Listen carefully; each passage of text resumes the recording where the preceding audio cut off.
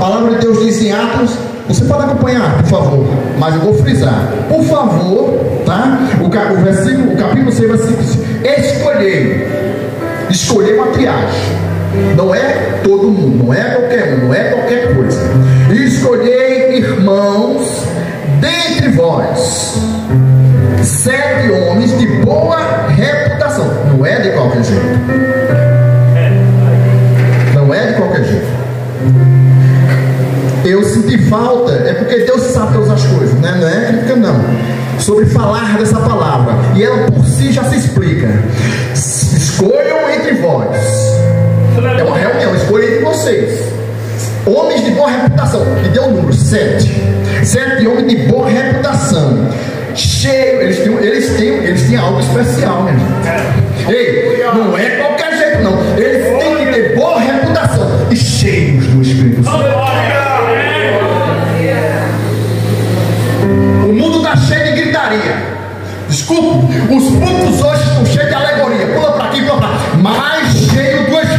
Espírito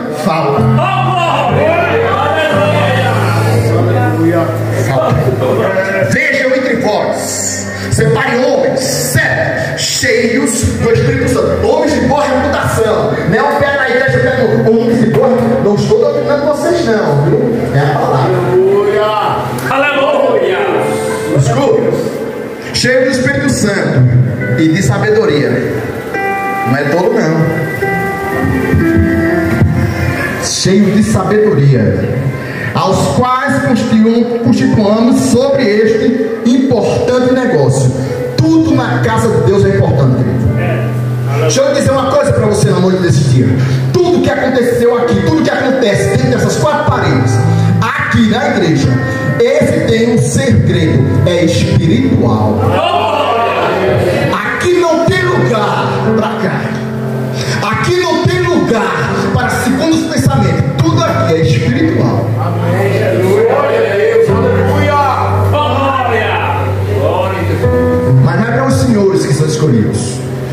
Sinceramente, eu me alegrei com, os senhores daqui. Mas vejam o primeiro versículo do capítulo 6. Por favor,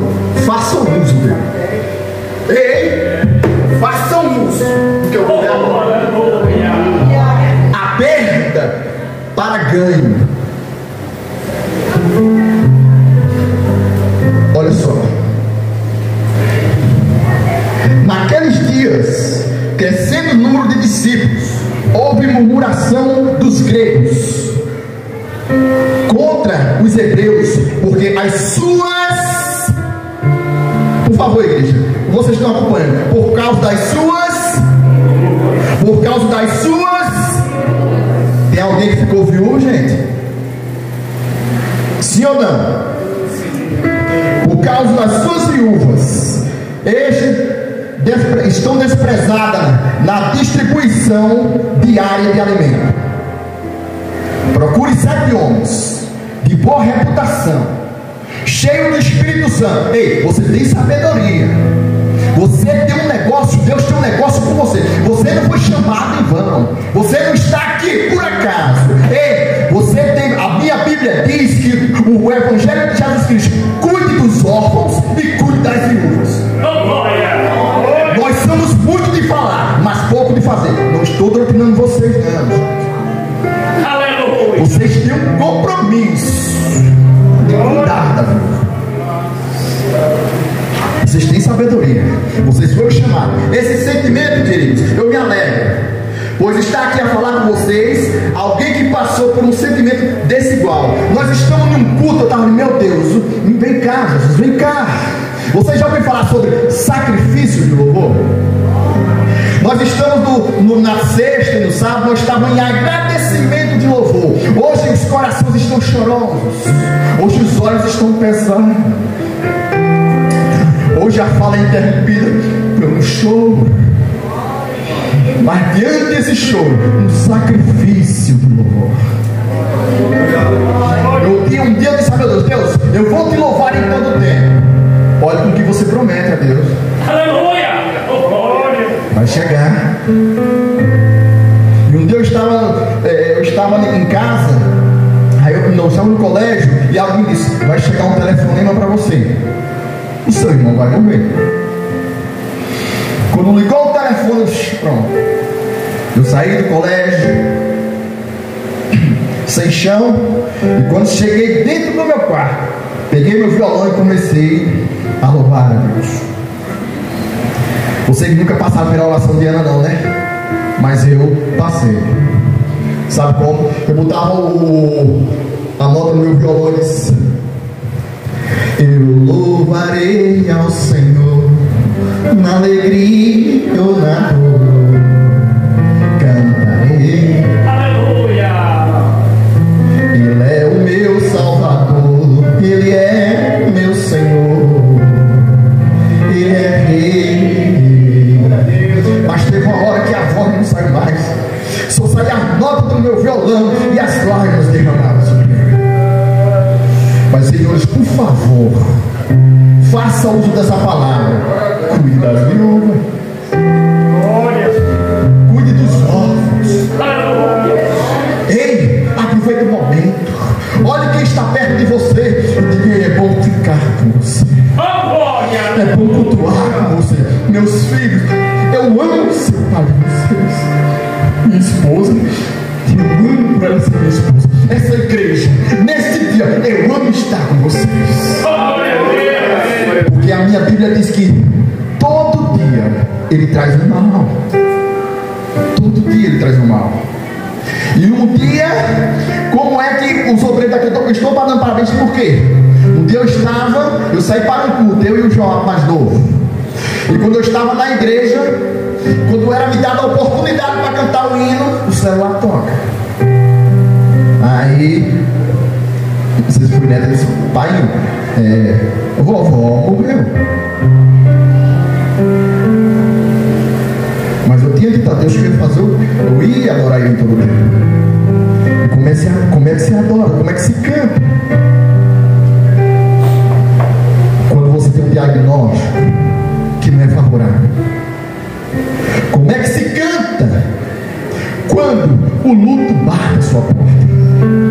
Como é que se canta quando um filho está nas drogas? Como é que se canta quando se é traído? Quando se é traído. Quando é que, como é que se canta? Quem poderia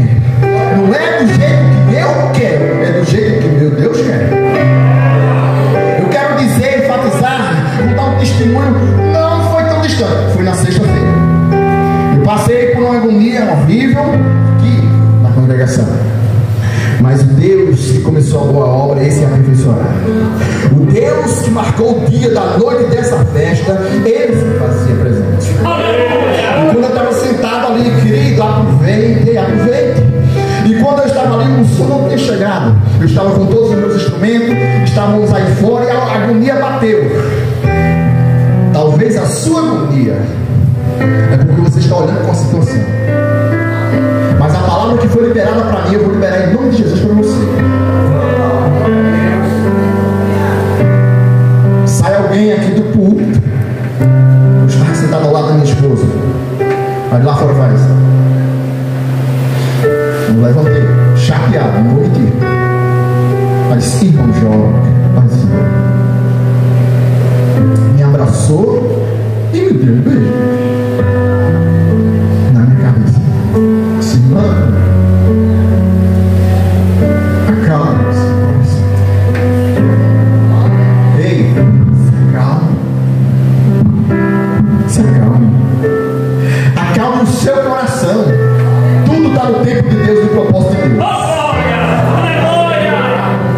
estava com ela, estava desesperado. E eu tinha ligado, sabe o que, gente? Eu tinha ligado para o meu filho e disse: Não, eu, eu, eu vou confessar, não adianta, crente não pode mentir. Às vezes, nós queremos dar uma de bom, mas de bom é Deus. Às vezes, nós nos capiamos de ser um crente, mas deixe que Deus quer da gente sinceridade. Por favor, nós enganamos a dirigente, nós enganamos a A a B, mas a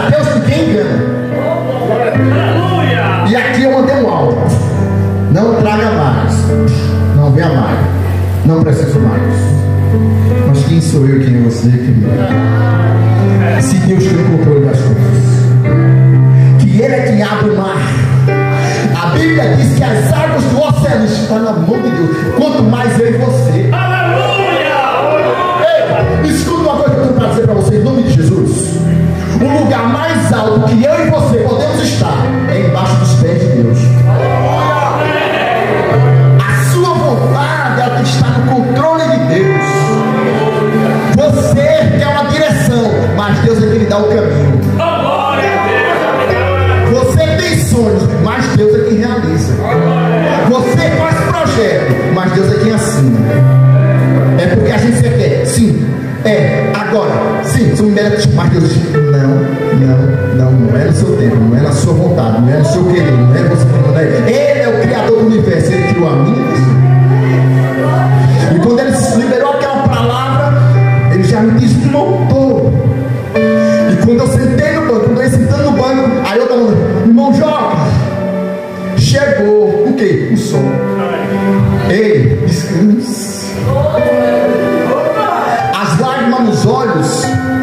é como um para- um para-brisa na chuva.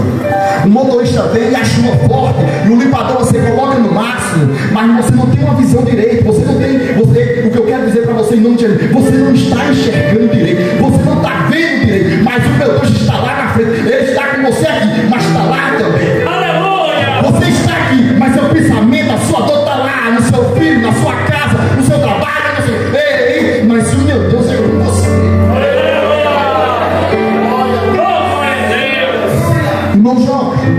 chegou.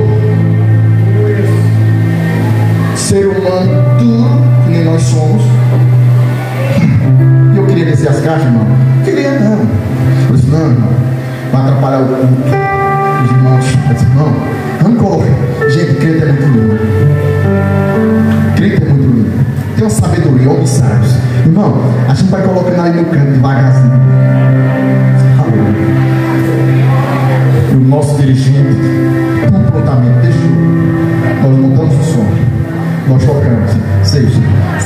E domingo estamos aqui também.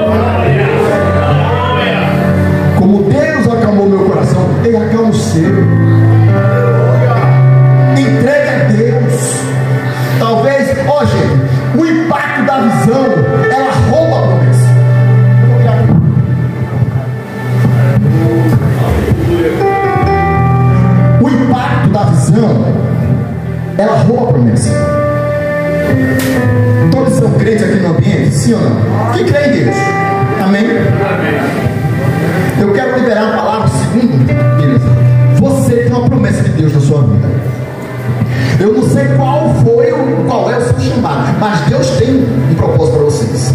Homens aqui, esses varões, vocês foram chamados, vocês foram escolhidos, vocês têm, têm sabedoria, vocês têm que cuidar das viúvas e dos órfãos, vocês têm que ser cheios, cheios do Espírito Santo. A igreja tem que ser cheia, cheia do Espírito Santo. Senhora, vocês têm que ser cheios, cheios do Espírito Santo. Cidade, vocês têm que ser cheios do Espírito Santo. Vocês têm que influenciar o povo lá para trazer para cá.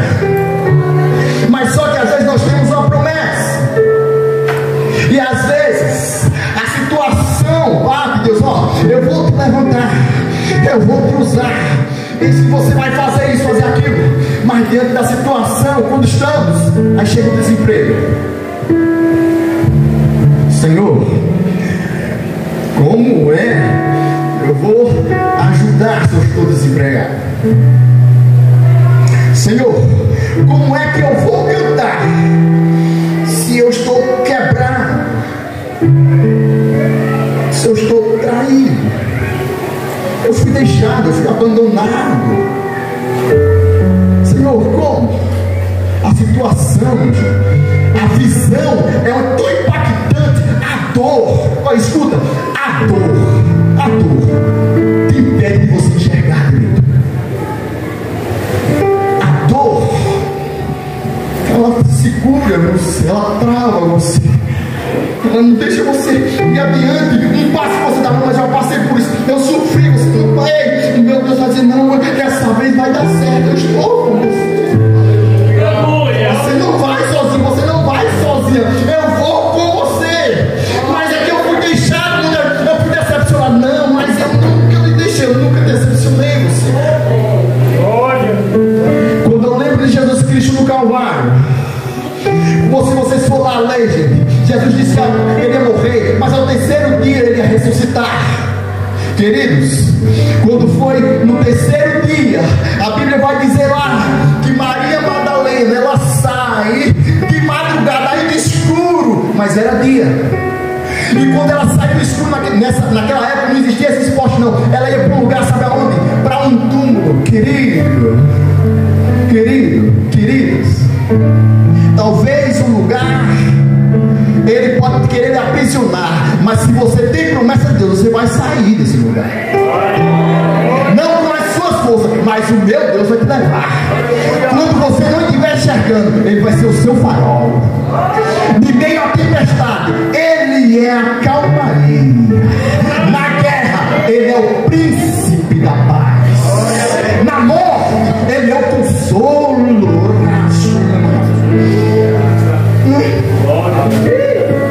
Na indecisão, Ele é o caminho certo.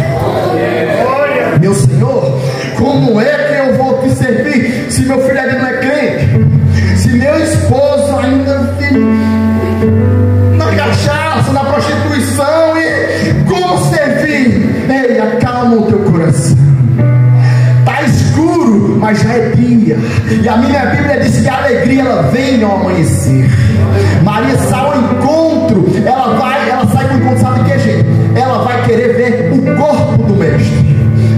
você esteja olhando de maneira errada, mas meu Deus, na noite desse dia, vai abrir seus olhos. Ele deu uma promessa para você. Você sabe. Você está indo de acordo com o impacto da sua visão que não está certo, que está difícil, e é bíblico. Você vê que Sara, Deus deu uma promessa que ia ter um filho. Ela pegou, viu? Não, eu já estou com 90 anos, meu marido você. Como, Senhor, não dá. O impacto da visão não dá. Eu já sou velha, o útero não gera. Meu esposo dizendo, mas o Isaac vai nascer.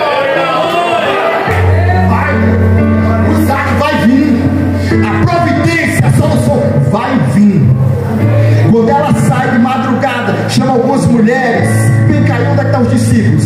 Eles estavam aterrorizados. Quando eu comecei a ler isso, gente. Aleluia, glória a Deus. Eu disse, meu Deus, como é que pode? O Senhor andou com eles. O Senhor fez maravilhas com eles.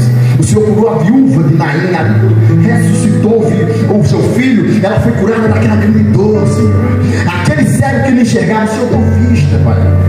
E eles viram ali, Pedro andou por cima da água com o Senhor. E agora como é que eles esqueceram? Ei, você já da promessa, né? Meu Deus, não esqueceu não. Ele é fiel para cumprir. Ele procura um sábio, mulher sábia, cheio do Espírito Santo de sabedoria. E quando ela chega lá no túmulo, ela encontra a pedra removida e não está lá o corpo. Sabe por que não está lá o corpo? Porque aquele lá não está morto, ele está vivo. Sua promessa não está viva. Você está olhando diante dos seus olhos, mas o meu Deus vem além. Se você não é para você agora, mas sabe que no tempo de Deus vai chegar, no tempo de Deus vai acontecer, no tempo de Deus tudo vai ficar bem.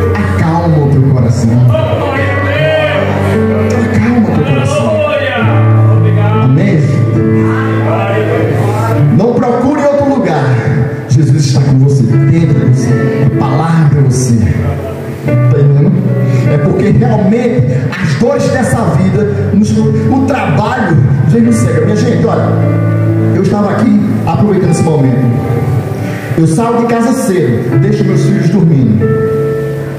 Almoço na rua. Chego à noite, eles estão na faculdade. Quando eu chego e vou, eu só tenho o direito de dormir com eles. No outro dia a mesma coisa. Nós não ensaiamos. Vocês acreditam? teve um irmão, irmão que banda beleza, Jesus tem misericórdia. Mas o que eu faço é para o autor da minha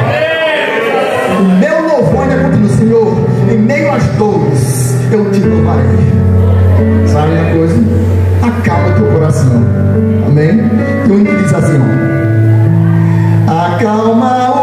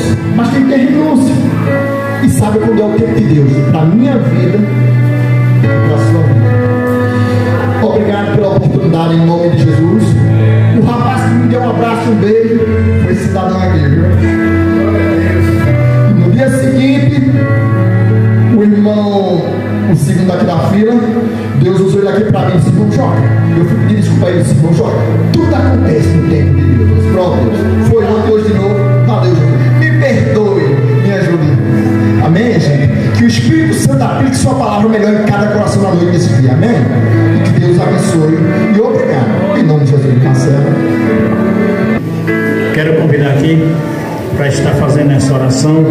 Presbítero Luiz, ele vai estar orando, concluindo em nome de Jesus.